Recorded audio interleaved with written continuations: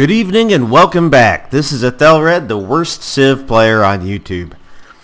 Let's play some Civ. It's 400 AD. And we found a barbarian camp. Oh my goodness. All the way over here. Imagine that. No, I...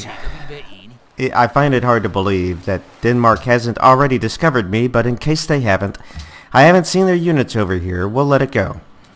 So, what's happening? In 401 AD, Rome finally gave up the ghost in controlling Britain. It was too expensive in both money and lives to continue their occupation of Rome, and with a whimper, they withdrew, and the legions were withdrawn from Britain. A year later, the economic collapse followed. Um, although it wasn't an equally dramatic collapse in all places of Britain, there are evidence that in some places they were still laying in things like mosaic floors. Uh, and that persisted for a couple of years after the withdrawal of the legions. In other places it was swift. Uh, 403 AD, by now the Angles have got wind that the legionnaires are gone and there's no one defending Britain. At this point, one of two things happen. It depends on how you want to read history. Either on, I think the primarily the accepted opinion is that they they, meaning the Angles, meaning anyone who could get together 200 or so men, decided to go become a king.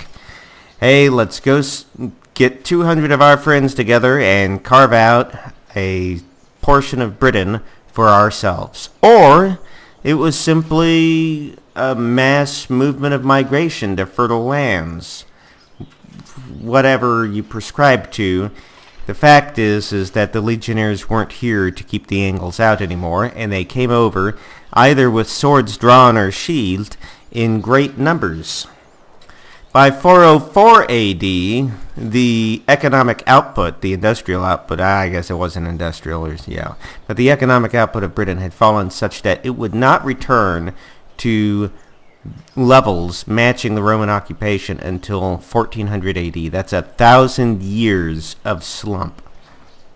So we thought that the Great Recession was bad. In 410, there's a letter from Rome that we have in our possession to one of its formerly outlying districts, rejecting a plea for help. It's believed that this was in response to a plea from Britain saying, come help us, the Angles are here. But mm, it's not exactly clear. And as a disclaimer, for the next 400 years or so, I've got plenty to talk about but there's an asterisk besides every year because we don't really know what was happening in each year. Uh, it's just because we don't have records, we don't have written records, so the, the, the whole timekeeping thing becomes very chancy. Alright, what are we going to build here now that the water wheel is done? I'm thinking a shrine, and here I'm thinking a coliseum. Yes. Something like that. Hmm. Is a shrine required for a temple? Does it say on the tooltip? Yeah, building unlocked temple. And temples will give us happiness. So, that's a stepping stone to a happiness building for us. And now we're friends with Wittenberg. Oh goody, and we can clear another barbarian encampment. So after this cargo ship is done, we're going to get out another settler. And then maybe another worker. Yes, something like that. In fact, I would kind of like to do maybe a settler and then a cargo ship. Yep, for the apples, so that we can ship apples. We're going to get away from the scary barbarians. And we're going to roll a turn. You know what I would really enjoy doing is I would enjoy getting the Huns and the Mongols to fight one another. Enemy horseman has attacked my archer. Where? Here? Run away. And, oh good, we've got a farm done here. I think we're going to go work on another farm, by golly.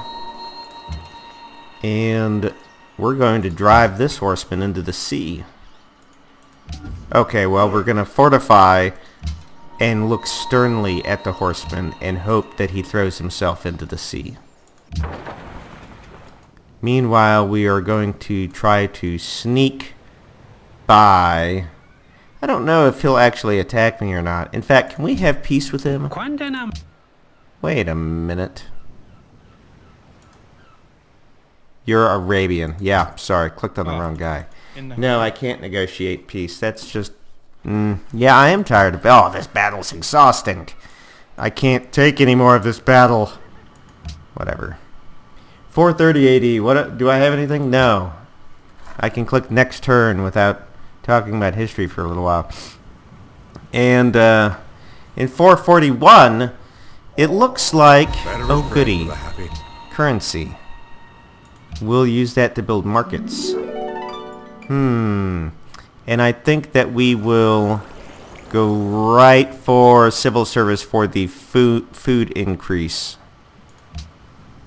Does the sea count as fresh water? Or is it only rivers? Well, anyway, we've got a fair number of rivers. Get out of here, horse. Yeah, so, there's some scant evidence that in 441 AD, the British, looking to the Angles, saw an opportunity to get help with I guess what was a problem, apparently a problem for them, was the Picts and the Scots.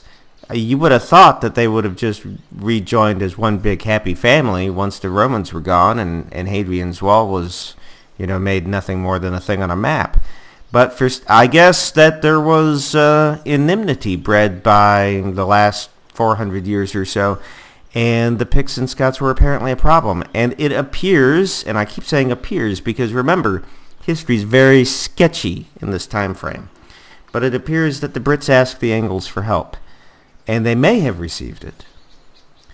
Let me set a timer here for myself so I don't talk for too long. I don't want the episode to go too late. Yes, we'll set it for 2 hours and 27 minutes. We'll do it. No, I'm just kidding. I'm being sarcastic. All right. 445. We will bring this archer home. And this fellow will continue to explore the east. I guess there's no Russia, but there's... Oh, there's Karakoram. Am I... Where's my little trireme? I love this thing. I should name this. Can I rename this? I think with the extended user interface I can. While defending, your archer killed a barbarian horseman. I wish that I could click on something to go see where that is, but I think that that was probably right here. Yep, there it is. Really, that's very nice. Great, so we got the experience points for that. Farm. And I want to rename you. I can! Great. The little... Oh, it won't take. Hmm...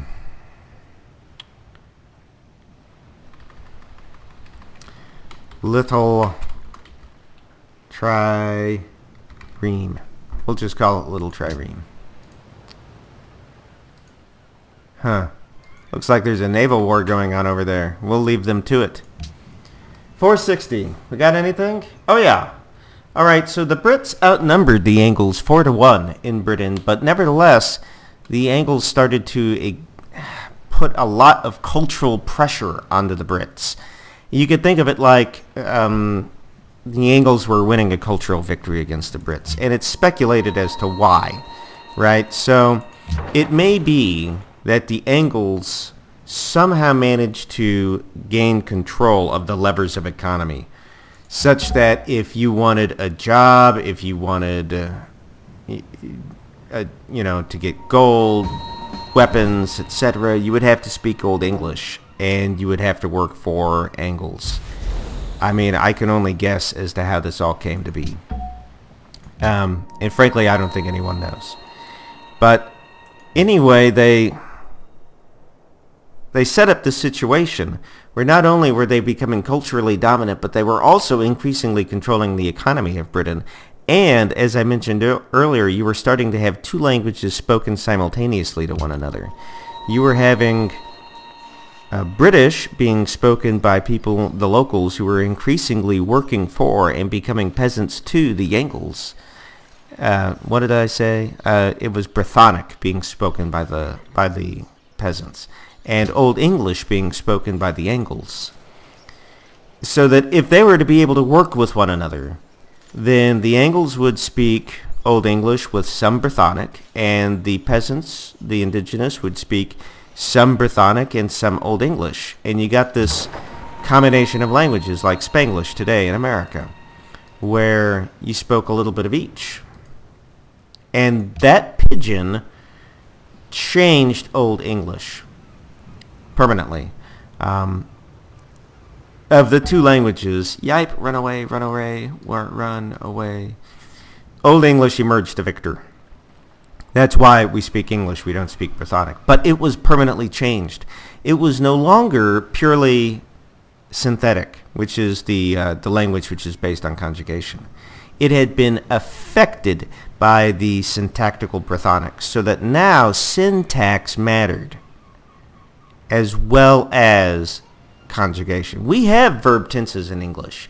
We have past tense, um, chop, chopped, so we conjugate, but we also care about the syntax. And this combination of syntactical and synthetic elements comes from the fact that uh, back at this period of time, 500 AD, you had Old English speaking Angles working with on a daily basis the Brythonic speaking peasants. What else has happened around this time? 520. Um, Spoke about the languages. Ooh, something really exciting happened in 495. I'll get to that as soon as I click next turn. And what I'm going to do now is I'm going to assign, let's find out who the tech leader is. It's Denmark. Can you imagine that? Alright, we're going to go spy on Copenhagen. And if they're the tech leader, who's right behind them? 25 technologies, 23, 23, 22, 18, 24. Oh, Arabia. So let's go spy on Arabia. Mecca. What did I just click? Clicked wrong. Mecca. There we go. Alright, so we got those guys out. And uh, one step forward one step back. No, we'll just park it right there because I can't move anymore. And we will start to send food to York while getting our fourth settler together. we I want to get five cities out before the Renaissance. So we have precious little time left to do that. Okay, so yes. What is drama? 495. There was a fellow of fantastic impact to the history of the English. And his name was Cerdic and his son Cynric. They got together a band of 250 Angles and they came over to Britain. Now, Cerdic is a Brythonic name. So there's some speculation as to who Cerdic was. There's at least three different um, ideas in this regard. One, that Cerdic was a Roman Briton living on the continent, working as an alderman, which is a, like a high-level bureaucrat, and seeing the opportunity that anyone who could get 200 or so angles together could go become a king in Britain, decided to take advantage of the opportunity, having 250 fellow followers of his own. Thought, yeah, I'm going to go be a king. That's one idea. Another idea was that Cerdic was a Welsh prince who had sympathies for the Angles and was kicked out of Wales and decided to go get his revenge. So he got 250 friends together from the Angles and came back. I, I, I don't know. I'm sure there's reasons why people believe that. I don't get it. And the third one is is that Cerdic was an Angle. It's just that he had a British mother, and he got his name from her. Anyway, this fellow Cerdic and his son Cynric, they come over in 495, and they fight a British king named Natanleod and defeat him, but don't kill that king, and establish a miniature little kingdom in in Britain. What was the name of it? Do I have it here? I'm I'm looking in my notes here. Well, I don't, but and, maybe I'll find it later in the notes. But anyway, it wasn't called um, what it would eventually become until later. Cerdic and Cynric set up a kingdom which would be the land of the West Saxons, and over time, that kingdom would become to come to be known as Wessex. And the House of Wessex is from which all of the English kings after the unification of England have drawn their line. So Queen Elizabeth II is of the House of Wessex, if I'm correct. So all of the royalty of England has come from the, these two men, Cerdic and Cynric, who came across in 495. In 508, Cerdic got finally finished a deal with Natanleod and killed him in a second battle expanding his territory of the West Saxons. And in 519, Cerdic fought at Cherdichenslag, now known as Charford or Cerdic's Ford, further expanding the land of the West Saxons. So this guy was effective in battle. Uh, let's see. 530, sometimes here about plus or minus 100 years, it looks like the Brits and the Angles fought a major battle uh, called the Battle of Badon in which a British warrior won the day. So this now this the Battle of Badon and what I'm about to tell you here, it, you should understand that this is all very speculative. The fact that I had to lead into the, the Battle of Badon by saying right about 530 plus or minus 100 years, so this is speculated, but there's some evidence to it that a a local indigenous Briton rallied his men and won apparently a massive battle against the Angles and was renowned then as one of the locals turned out great. And if there is a historical kernel of truth to the story of King Arthur, it's suspected that it was this fellow. Um, and I want to take just a moment to talk about the legend of King Arthur. So in King Arthur, you know, you had the Lady of the Lake whose hand came up out of the lake and handed him a sword. What does that sound like? That sounds like the ancient Celtic bog traditions of throwing a sword into a bog in order to please the land so that you could cross it. And here you have the land giving a sword back to one of its indigenous heroes so that he could defend the land. This is uh, the the literature major in me just finds such beautiful symmetry in this. I mean, this is this is a moray of a culture being played out right here. You you give a sword, you give an offering to a land so that the land can smile on you. And then when you who have been the good steward of the land or in your greatest hour, the land gives something back to you. Take this weapon and smite your foes with it because I'm on your side. That's what I see from the hand coming up out of the out of the lake, giving King Arthur a sword. So in 534, Cerdic died, and he passed his dynasty to his son Cynric. Ah, yes, here it is. I've got the name of it. It wasn't called Wessex at the time. It wasn't even called the land of the West Saxons. It was called Gewisse. Gewisse. Okay. Well, I've blathered. We can play some. We can play some Civ again. After all, you're probably here for the Civ. Uh, unit needs orders. Just camp here. It'll save me some gold because of that social policy I have. And can we ever sneak by? Well, maybe we can. Ha ha ha! The little trireme made it a whole several steps.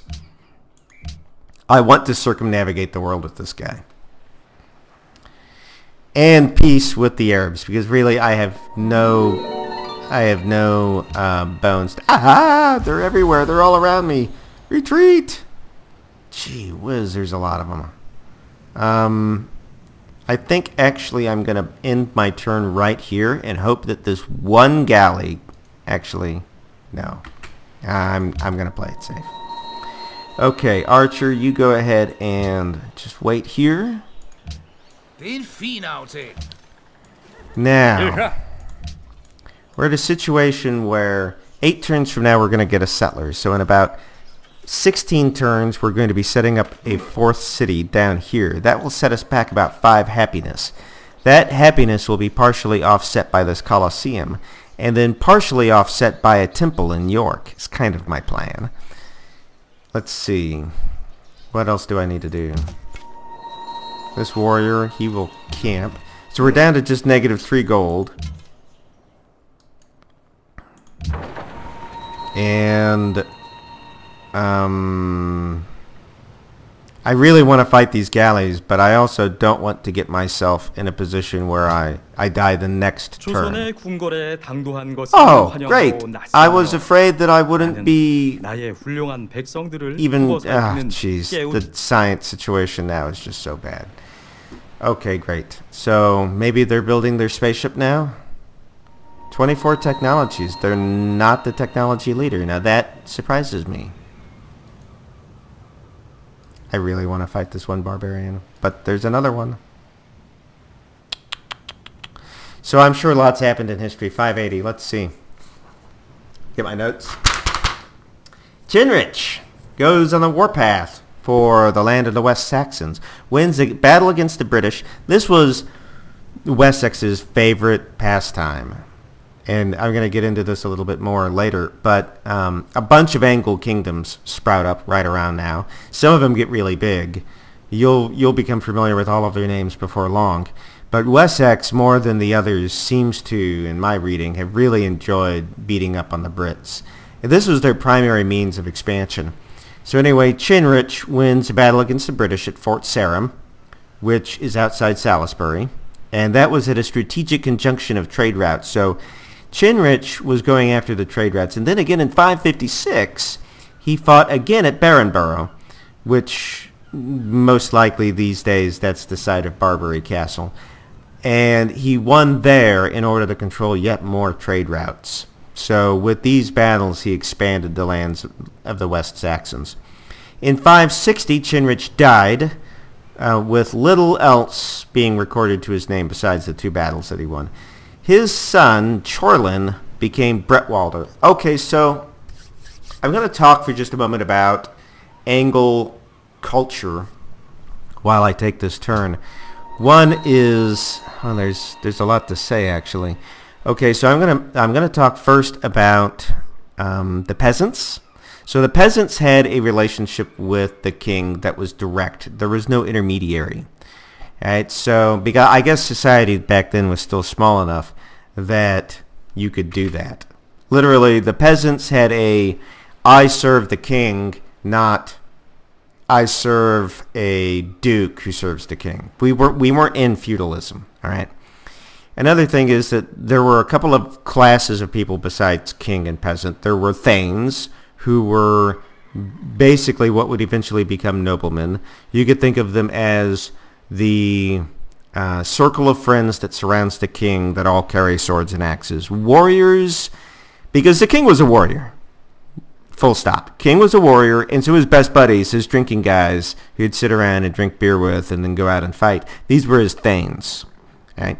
And he also had some men in his employ who would handle the day-to-day running of the of his kingdom, and these people were called aldermen. Now, there would be occasions where everybody needed to get together and have a conversation about what they were going to do. And interestingly enough, this would include the wise men of the peasants. And it was called a moot.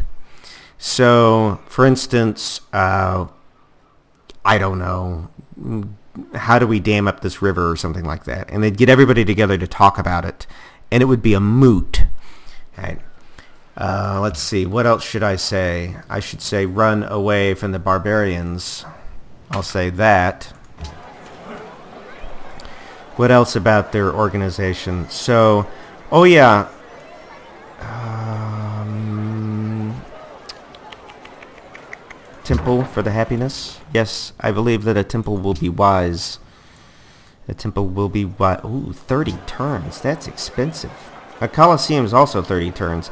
The fact is, is that city just sucks, and that's the problem. Alright, so... Okay, here's Korea. That's nice to know. And we've got... How many hammers here? 17? You could use more. Hmm trying to decide whether or not to go build a mine or a farm. How about I split the difference, come over here onto this forested hill, and actually I could come across here and set up a... Yeah, I could set up a camp there and get one hammer and, and three... One hammer out of the three apples. I think that's what I'm going to do. Okay. So what was I saying? I was talking about the Angles and their society and their kingdoms. Okay, so there start to be a couple of kingdoms which are just head and shoulders above all the others.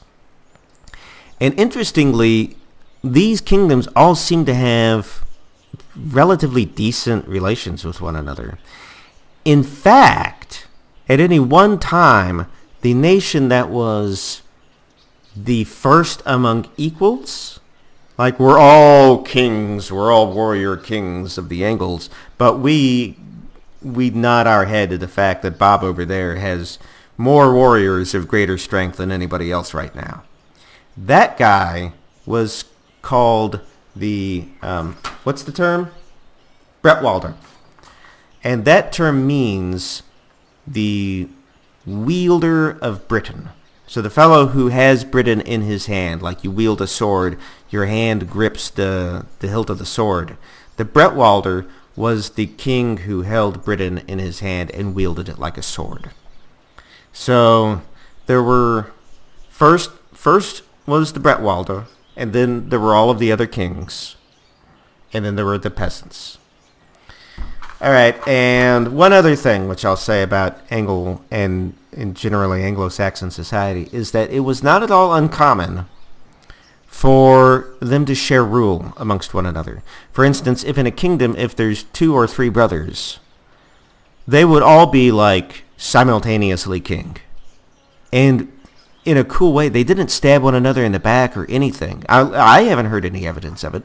It seemed like they got along as brothers, and they ruled as uh, warrior brothers, as a triumvirate of simultaneously all three of them being king. So that's cool. And the last thing is is that the notion of what's it called, primogeniture or something like that uh, the notion that when the king dies, his oldest son becomes king, that hereditary notion, that didn't exist fully yet. There were some Ang- Anglo-Saxon kingdoms which started to follow this practice, but many of them didn't, and didn't for hundreds of years. So when the king would die, then there would be a moot or the Thanes would all get together and discuss, and the aldermen, what are we going to do now? Who's the most suited to being king? And sometimes that took years, and it was it was messy. All right, I'm so distracted now by talking about the Anglo-Saxons, I've actually forgotten what I'm doing at all. I should probably send this warrior across to guard my worker. And it looks like we are done here setting up a farm for Nottingham. I think that means that I'm going to... Ooh, how much food do I have here? I've got an excess of three. This Nottingham is a great city. It is a great city. I can expect to have a settler down here in about 12 turns. I've got time for one more project. I think it'll be that. Ah, I'll never get by. I'll never get by if I don't do something about it. You think I can kill that one guy? Do I still have a chance to run away? I do still... Okay, I'm at a I'm at a point here where I can either kill this one galley or I could run. Fight another day. I'm starting to feel like if I never fight, I'm never going to get through here. Hmm. Alright, well, I'm probably going to regret that. That trireme's probably going to die. My gosh, it's 6.10. Time just flies when you click. I'm, I'm almost thinking that my next game's going to have to be Marathon because it's just simply too much time passes when I click next turn. Back to my notes. 625. Wow. Okay, so Bretwalda. That was um, Ceawlin became Bretwalda. That's right. Ceawlin of Wessex became Bretwalda. So that's why I was explaining it. So for a little while anyway, Wessex was first among equals. That didn't last long. There was another Angle kingdom called um, Mercia, Mercer, Mercia, which uh, most often held that title. But for a little while, Ceawlin had it. In 565, a Christian monk from Moville on the continent. That's probably pronounced some fancy French way. I don't know. Anyway, so this Christian monk went into self-imposed exile. I'm going to go retreat to an island in the middle of nowhere and live in a live in a cave. Yeah, and that's what he did. He went to a small island called Iona off of Scotland and he set up a monastery there and that monastery ended up influencing Britain and Scotland and Ireland in big, big ways. 568, Ceawlin of the West Saxons fought one of the few battles that I read about between Anglo-Saxons. He fought Ethelbert of Kent at this time. Uh, the two were both vying for territory in southeast uh, southeast Britain. Apparently the battle took place at Wimbledon, where Wimbledon is, I don't know, and I don't think anybody knows. I think that place has been lost to history. 575, Ceawlin, still of the West Saxons, just, you know, I'm going to try to follow the, the line of the House of Wessex, actually, as I go through. Along with another lord of his house, Cuthwine, fought and killed three British kings at a place called Dyrham, winning for the West Saxons Gloucester, Cirencester, or Siren Chester, and Bath. So that battle saw the final collapse of British power in Britain.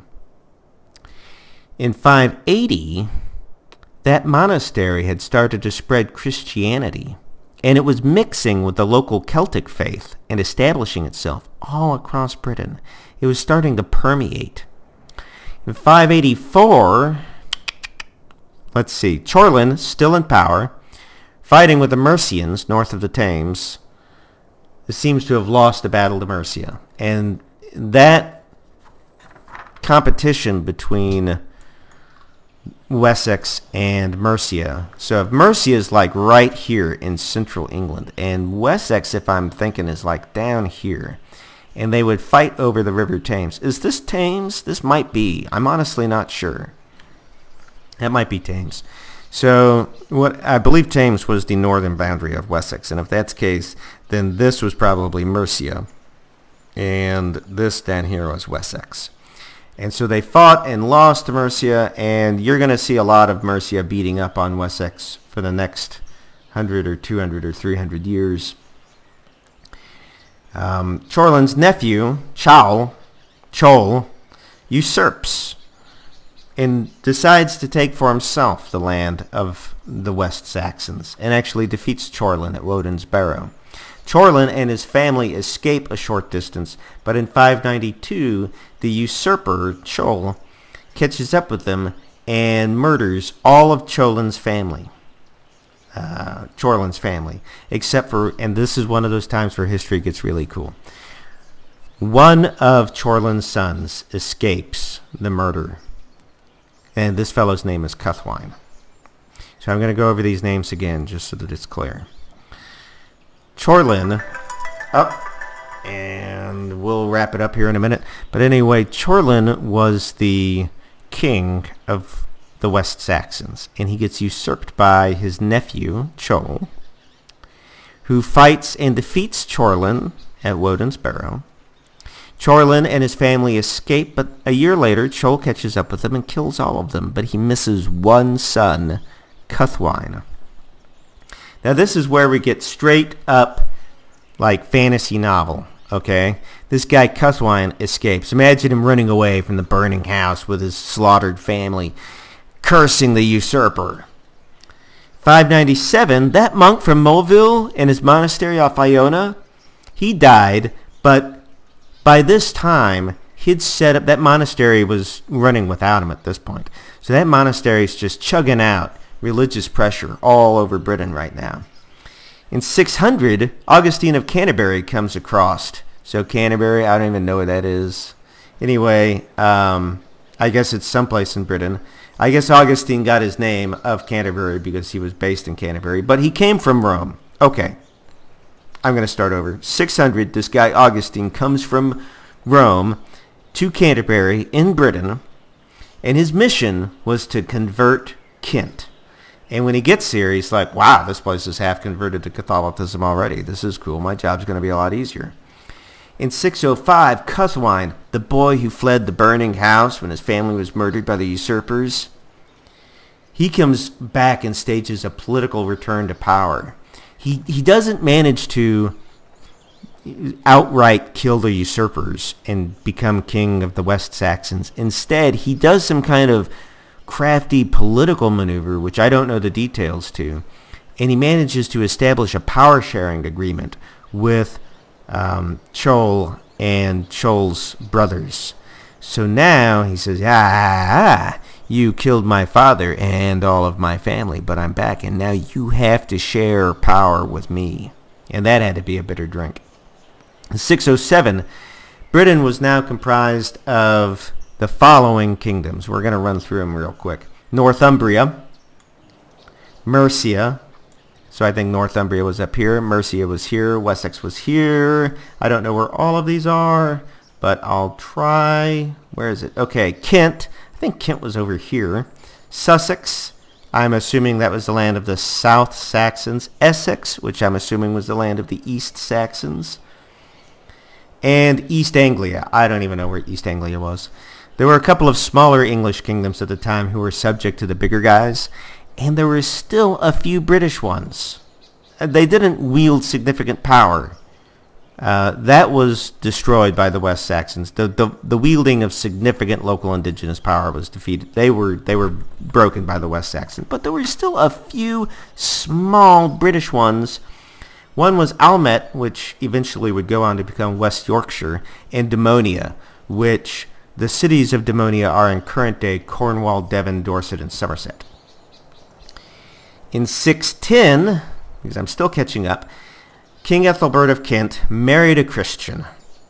And hearing Augustine's method, message, remember this is the guy who came across with the with the goal of converting Kent. So now he's he's whispering Christianity into King Ethelbert's ear and gets him to marry a Christian girl.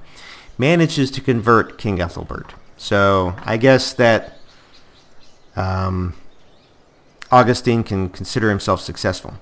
625, King Ethelbert of Kent starts minting coins. This is the first time that coinage has been minted in Britain since the departure of the Roman legions.